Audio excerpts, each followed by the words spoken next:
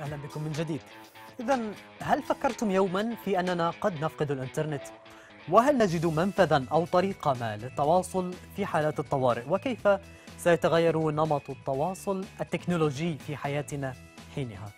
بالفعل تم تنفيذ هذه الفكرة على أرض الواقع وبات هناك بديل عن الإنترنت والذي قد يقطع بفعل فاعل فما هو هذا المشروع والذي حاز على جائزة الشباب الأوروبي في ألمانيا بعقول عربية نتعرف على صاحب الفكرة والمشروع ليشرح لنا تفاصيل أكثر. معنا هو عبر سكايب الشاب السوري عبد الرحمن الأشرف والذي ينضم إلينا من شتوتغارت الألمانية. أهلا بك عبد الرحمن.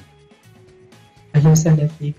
عبد الرحمن إنجاز يعني يسجل في تاريخ التكنولوجيا خاصة أنه قد حاز على جائزة من ألمانيا من الحكومة الألمانية جائزة الشباب الأوروبي بشكل عام ولكن بعقل عربي.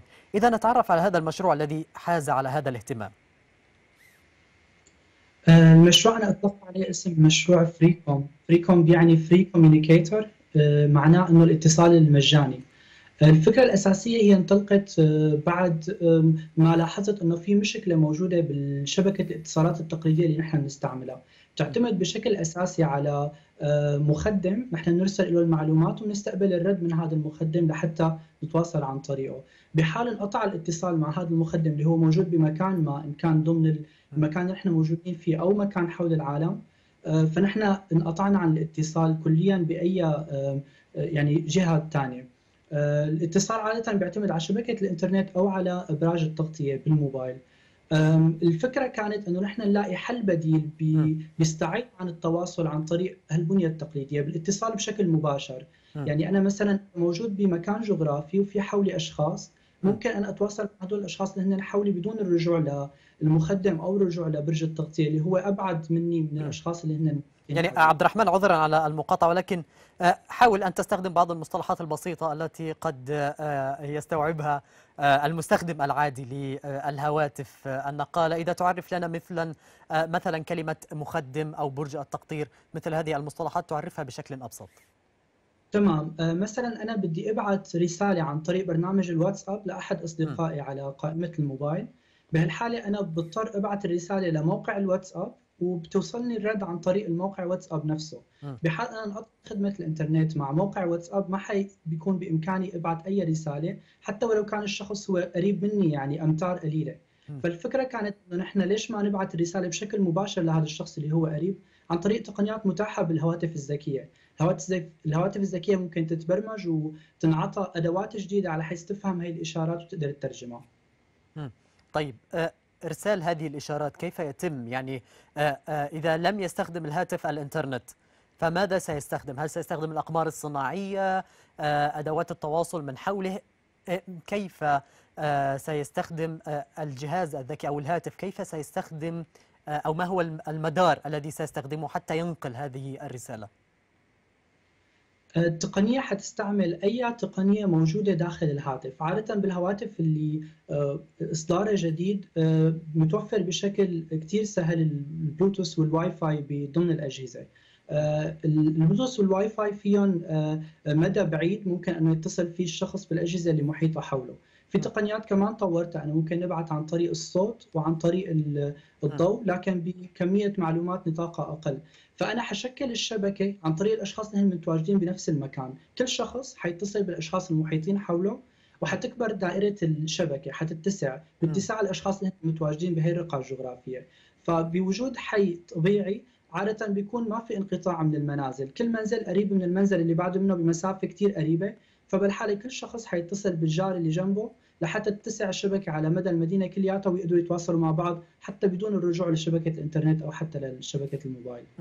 طيب عبد الرحمن هذا المشروع من الفئة التي قد يفتح لهم آفاق؟ يعني الكثير يعني قرأت بعض التعليقات على هذا هذا الابتكار أو هذا النمط من التداول. الكثير يتحدث عن استخدام هذه التقنية تحديدا في مناطق النزاعات أو الدول التي تتعرض الآن ربما لحالات اقتتال أو صراع وما شابه ويتواجد فيها انقطاع لشبكات الإنترنت بشكل كبير خلال اليوم هل هي الفئة المستهدفة من مشروعك وكانت السبب في انطلاق هذا المشروع؟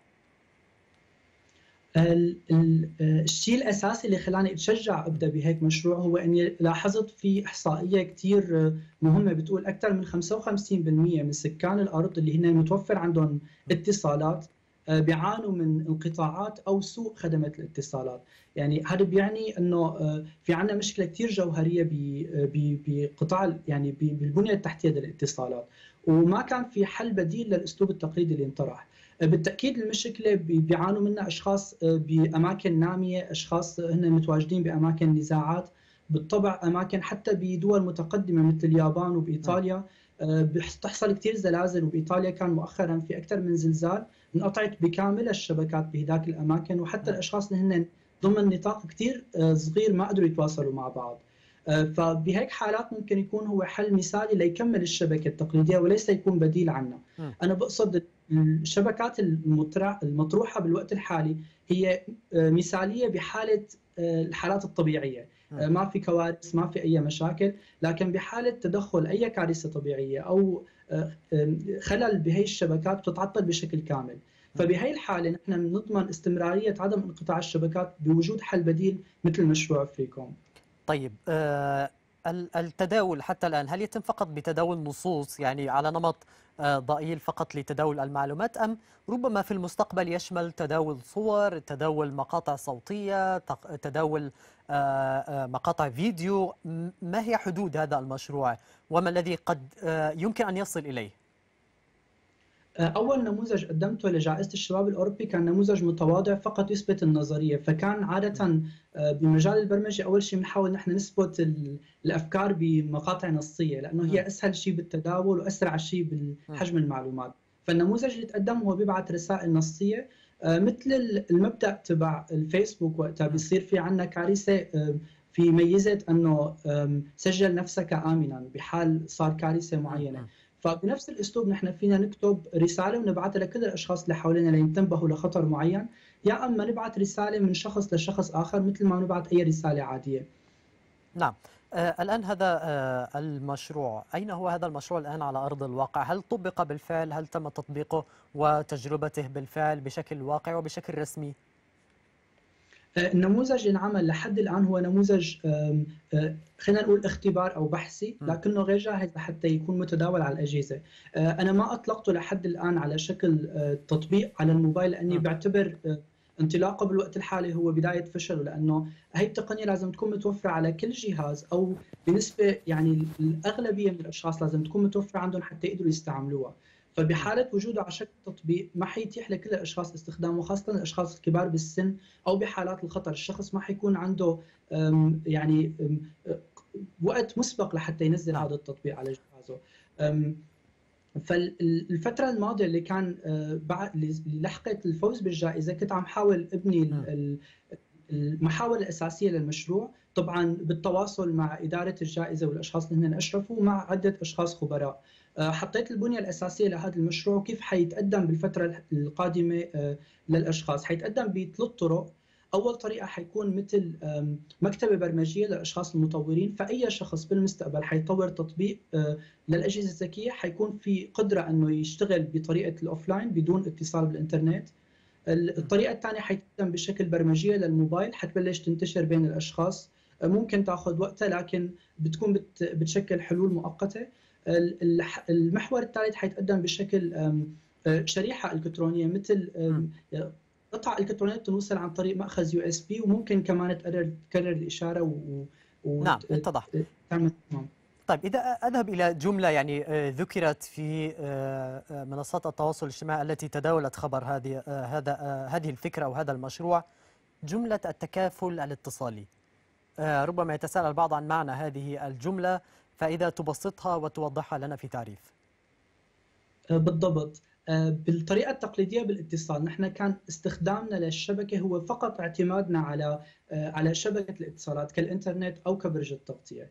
المفهوم الجديد اللي حينطرح هو كل شخص هو حيكون بحد ذاته إنترنت وحيكون بحد ذاته برج تغطية وحيعطي الإشارة لغيره. يعني أنا حأستثمر الجهاز اللي معي لحتى أعطي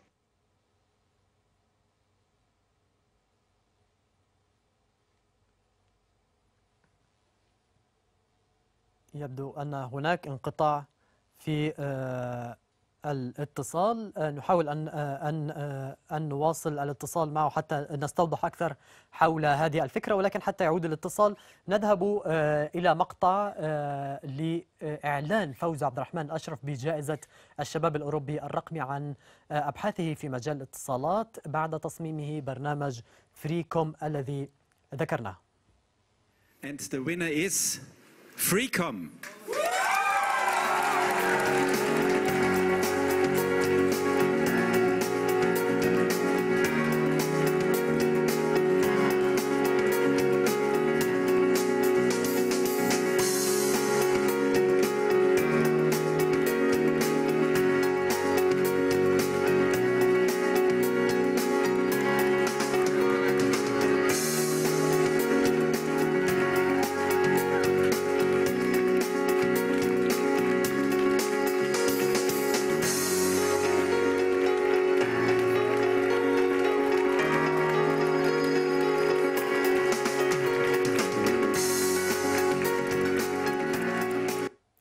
نتحدث عن الاتصال وقطع الاتصال ولكن عاد مرة أخرى من خلال الهاتف عبد الرحمن. إذا كنا نتحدث عن تحمل المواطن المسؤولية في نقل المعلومات واستخدام مثل هذه الأنماط من الاتصالات الحديثة. إذا هي يعني محاولة للتعرف وأن يتحمل المواطن المسؤولية حتى ينقل هذه الفائدة لغيره. ننتقل الآن إلى فكرة هذه الجائزة. عبد الرحمن كيف تقدمتم إلى هذه الجائزة؟ وما الذي يتم العمل عليه حتى تحصل على هذه الجائزة إذا كنت مبتكر لأحد الابتكارات؟ الجميل بالجائزه لهي السنة سنة 2017 انه انفتحت لعدة دول عربية. هي الدول الموجودة في الحوض المتوسط. مثل مصر، الأردن، لبنان، سوريا سوريا، آه، آه، الجزائر الجزائر، تونس الحوض المتوسط. وصعب صار بامكان حتى من البلاد العربية تقديم للجائزه. رائع رائع بالجائزة بالجائزه إنه إنه في مجموعة من الخبراء ومجموعة من الاشخاص اللي بيدعوا ختام الجائزة الجائزه هن ممكن يعطوا دعم قوي آه، من ناحية من ناحية الخبرات من ناحية ال- ال- المعرفة بالسوق الأوروبية. ممكن أي شخص عنده فكرة ابتكارية جديدة بتقدم آه، آه، قيمة لل- للأشخاص، بتقدم قيمة للإنسانية بمجال ممكن البيئة، ممكن مجال التعليم، ممكن مجال التقنيات، آه، ولو كان المشروع ببداياته كنموذج أو كان مكتمل أو هو مشروع موجود على أرض الواقع، ممكن يشارك الشخص وياخذ فرصة إنه يقدم لل- للجائزة. طيب هذه الجائزة ما هي آه، الفرص المتاحة لمن من من لا يسكنون في أوروبا أو لا يقيمون في أوروبا؟ هل يشترط الإقامة في أوروبا؟ وكيف يمكن لي أن أذهب إلى أوروبا وأن أتقدم لمثل هكذا آه، جائزة؟ بالسنين السابقة كان شرط أن يكون الشخص مقيم بأوروبا لكن هي السنة حتى الأشخاص المقيمين ببلاد عربية متواجدة بحظ المتوسط بإمكانهم يقدموا حتى من بلادهم. آه هذا الشيء كثير كان رائع وحاولت أنا أنشر الخبر لحتى يوصل لأكثر عدد من الأشخاص اللي هم متواجدين ببلاد عربية وأعلنت عن طريق صفحتي بالفيسبوك أنه ممكن أقدم دعم للأشخاص اللي عندهم مشاريع، أي شخص آه بيحب يساعده بإمكانية كيف التقديم آه، كيف ممكن يزيد فرصته بالتقديم ممكن يتواصل معي حكون سعيد جدا ان يساعده لحتى يأخذ فرصه ويزيد بالتقديم للجائزة. حكون سعيد جدا إذا تكون هي السنة كمان آه، من من يعني من شخص عربي. طيب آه، عبد الرحمن هذه هذه الجائزة آه، ما دورك في تقديم بعض آه، المساعدات هذه السنة؟ ما هو الدور الذي ستشارك فيه في هذه آه، آه، الجائزة؟ هل ستتقدم بمشروع آخر؟ يعني حدثنا أكثر عن المشاريع المستقبلية لك. أنا كوني فائز السنة السابقة وكوني سفير للجائزة بإمكاني رشح مشروعين لينتقلوا مباشرة للمرحلة الثانية، يتجاوزوا المرحلة الأولى من ال- من الترشيح للجائزة.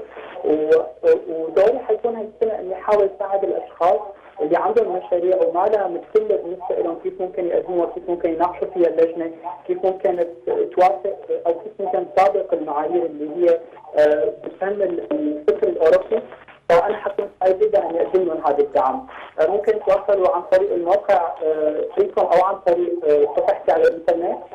وممكن أنا أقدم لهم أي مساعدة أو مم. مساعدهم بطريقة طيب. آه، عبد الرحمن آه، هذه الجائزة نحن نتحدث عن جائزة لمشروع ما. ما هي هذه الجائزة بالأساس إذا يعني حتى نتعرف على هذه الجائزة. هل تكون جائزة آه، كشهادة فقط آه، بشكل معنوي أم هي مادية أم آه، بعثة؟ ما هو شكل هذه الجائزة؟ المشاريع اللي تترشح لل- للجائزة النهائية بتنجح إلى مؤتمر بنمسا عاده بيكون آه، مدته ست أيام، خلال أيام بي- بيكون في خبراء كثير بيساعدوا الشخص لحتى يطور المشروع تبعه لحتى تكتمل الرؤية أو اذا هو مشروع موجود على أرض الواقع كيف يكمله ضمن معايير جديدة أو ضمن رؤية جديدة. آه، بيعطي الجائزه بتعطي ال- الأشخاص الفائزين دعم لمدة ست شهور بيعطوهم فريق آه، بيعطوهم أشخاص مختصين جدا بالمجال اللي هن فيه وأشخاص على مستوى كثير عالي بالمجال الاصطناعي أو بالمجال الأكاديمي. آه، فدعم كثير رائع بيكون من حيث الخبرات ومن حيث ال- الفريق اللي ممكن يتقدم لهم. الجائزه ما بتعطي أي ربح مادي لكن بتساعد الأشخاص لحتى يحصلوا على دعم. يعني أنا بقصد كتمويل ممكن أن تجمعهم بشبكة من الأشخاص اللي هم مستعدين يعطوا تمويل للمشروع أو أنه يستثمروا الفكرة. اتضح شكرا لك عبد الرحمن. آه، الأشرف كنت معنا عبر سكايب من شتوتغارت آه، الألمانية. إذا بهذا مشاهدينا تكون حلقة الليلة. قد انتهت. تذكروا دوما أن تراسلونا بالقضايا لعل واقعا يتغير أو ربما وعي يزداد بهاشتاج دمتم في أمان الله.